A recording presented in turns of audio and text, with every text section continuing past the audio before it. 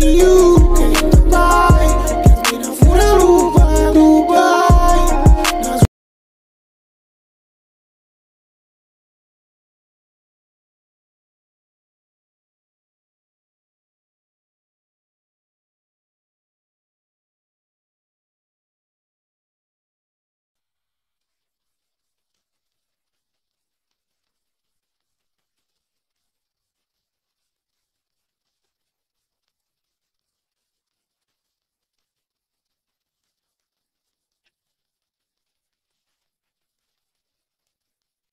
Bremsevognen Tusse var ked af det. Lige meget hvor han kiggede, kunne han se lokomotiver og passagervogne køre forlæns.